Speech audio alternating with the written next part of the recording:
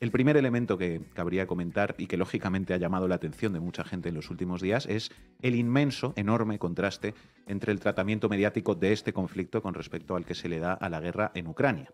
Si en este último caso, el de Ucrania, eh, el concepto del derecho a la autodefensa de un pueblo contra una fuerza de ocupación por todos los medios a su alcance, algo reconocido en el derecho internacional, pues se vincula lógicamente a la resistencia ucraniana frente a la invasión rusa, en el caso del conflicto en Palestina, curiosamente, o no tanto, ese mismo concepto del derecho a la autodefensa se vincula no a la población palestina que vive en territorios ocupados o bloqueados y asediados como Gaza, sino al Estado de Israel, que es la potencia ocupante.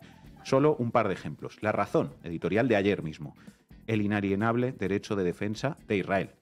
Otro en la razón, Israel y su derecho a la legítima defensa. Y uno más, Ukrinform, Zelensky, dos puntos, comillas, el derecho de Israel a la defensa es incuestionable. Pues queda claro, en la prensa occidental se plantea que quien tiene derecho a la autodefensa es el Estado de Israel, no la población palestina. Así es. Otro elemento que habla de la penetración de estos relatos en la comunicación que recibimos aquí a través de los medios y también de las redes sociales en esta parte del mundo son las imágenes que recibimos cada día. Seguramente todos y todas hemos visto este fin de semana imágenes de secuestros y asesinatos siniestros y abominables de civiles llevados a cabo por las milicias palestinas en el marco de este ataque. Por ejemplo, la imagen del cuerpo, seguramente sin vida, de una ciudadana israelí alemana en la parte de atrás de una camioneta siendo exhibido como trofeo en las calles de Gaza por parte de milicianos palestinos. Incluso hemos visto fotos de quién es esa persona, sabemos su nombre, sus apellidos, su profesión, quién es su familia, todo que está bien, ojo, eso es como debe ser. Sin embargo, mm, vaya por Dios, no hemos visto prácticamente ninguna imagen, por ejemplo, de los niños palestinos asesinados por el Estado de Israel en los bombardeos de Gaza.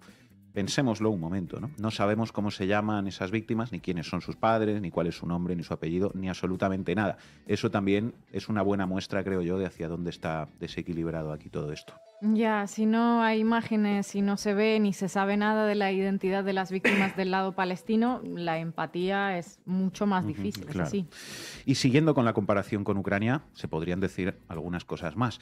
Por ejemplo, todos y todas hemos visto atropellos a los derechos humanos que ha cometido la resistencia ucraniana, atando, por ejemplo, a sus compatriotas disidentes a postes hasta la muerte, eh, la cuestión de los elementos neonazis en las Fuerzas Armadas ucranianas, por no hablar de la prohibición de partidos políticos en Ucrania, etcétera, etcétera. Sin embargo, por repugnantes y por inhumanas que sean muchas de esas acciones, no se considera en ningún caso que eso reste legitimidad a la causa de la resistencia ucraniana frente a la invasión rusa. Es más, simplemente cuando se habla de eso, cuando se menciona eso, eh, no sé, por ejemplo, que hay neonazis en las filas ucranianas, pues eh, eso es considerado propaganda rusa, en la medida en que reforzaría su relato de invasión de Ucrania. Por el contrario, las imágenes de acciones violentas y crueles contra civiles israelíes, hombres, mujeres, niños y ancianos, por parte de la resistencia palestina, que por supuesto que son repugnantes como lo es cualquier asesinato o secuestro de civiles en cualquier conflicto, pues sí que se usa para deslegitimar por completo la causa palestina.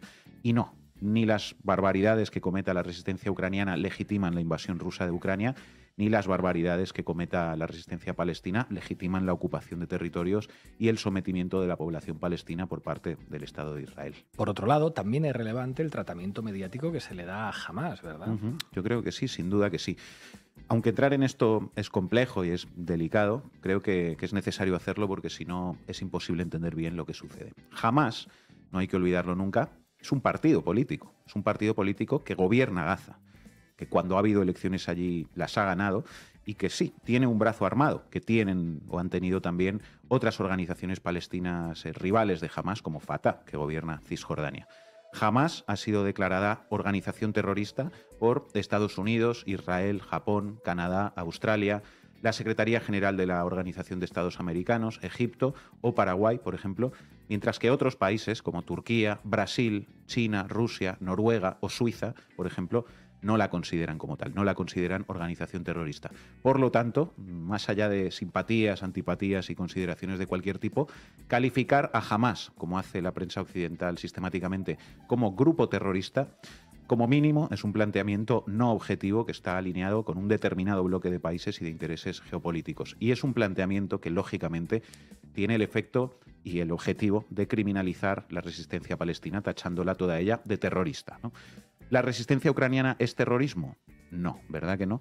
Incluso aunque cometan actos que podrían ser calificados de terrorismo como los que mencioné antes. Por lo tanto, la resistencia palestina no puede de ninguna manera ser tachada de terrorismo.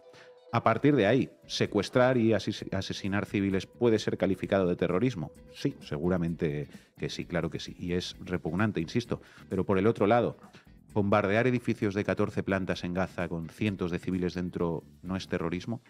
Dejar a una población de 2 millones de personas sin agua, ni luz, ni comida, ni medicinas no es terrorismo. Por favor. Sin embargo, nadie plantea en la prensa occidental que el gobierno de Israel sea terrorista, cosa que sí se hace con el gobierno de Gaza, que es jamás el gobierno de Gaza. Eso no es menor, porque da lugar a discursos que legitiman los bombardeos de Israel sobre Gaza. Os leo algunos titulares. Euronews. Israel ha bombardeado cientos de objetivos de Hamas durante la noche. El periódico de España. Israel difunde imágenes de bombardeos sobre objetivos de Hamas en la franja. ABC. Israel bombardea objetivos de Hamas en Gaza en el tercer día del conflicto y como estos hay cientos de titulares. Lanzar bombas de varias toneladas sobre un territorio, Gaza, que es el más densamente poblado del mundo, donde viven más de dos millones de personas, y hacerlo además sobre edificios enteros de varios pisos, como hemos visto, nunca puede ser calificado, como hace la prensa, como bombardeos selectivos, ni quirúrgicos, ni contra objetivos militares de jamás. Son bombardeos contra población civil, contra familias enteras. Son crímenes de guerra y llamarles respuesta selectiva contra objetivos terroristas de Hamas no es más que propaganda y supone legitimar y apoyar lo que son crímenes de guerra. Habría que pensar un momento también sobre el marco mental presente en toda la prensa occidental que plantea esta guerra como una guerra entre Israel y Hamas. El mundo, guerra de Israel y Hamas, última hora. El español, guerra de Israel y jamás en directo. La sexta, guerra de Israel jamás en directo. Y así, así todo. Pero a ver, Levin, eh, ¿cuál es el problema que estás detectando en esa oposición de Israel versus Hamas? Pues vamos a, vamos a pensarlo. Varios comentarios. Trazar ese eje es problemático desde mi punto de vista. Primero, porque borra a Palestina por completo de la ecuación, ¿no? porque no se está hablando de un conflicto entre Israel y Palestina, ni siquiera entre Israel y Gaza, sino entre Israel y Hamas. Es decir, parece que Palestina no existe y que lo que hay es una guerra de todo un pueblo y un Estado, con todo lo que eso implica en términos de entidad de sujeto, de legitimidad, de instituciones, de cultura, etcétera, no contra otro pueblo, el palestino, sino contra un grupo político determinado, es decir, contra un sujeto más restringido a todos los niveles, que además es calificado como terrorista.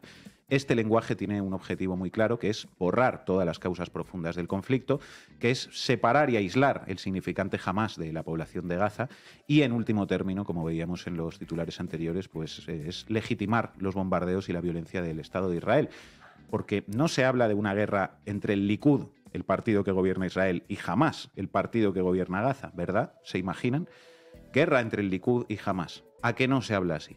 Digo porque esos términos quizás serían términos más simétricos, ¿no? Y tampoco se habla de una guerra entre Israel y Palestina o Gaza, si es que se podría hablar de guerra cuando existe tal desigualdad de fuerzas entre un bando y otro. Pero nada de eso. Se habla de una guerra entre Israel y Hamas, con lo que por un lado, se identifica al actual gobierno ultraderechista de Israel, del partido Likud, con el conjunto del país y del pueblo, mientras que se desidentifica a Hamas, el partido que gobierna Gaza, insisto, de la población palestina. Ahí creo que es evidente que hay una trampa, ¿no? A mi modo de ver. Y es bastante obvio que con esa trampa, como dice Levin, se intenta legitimar a unos y demonizar a otros.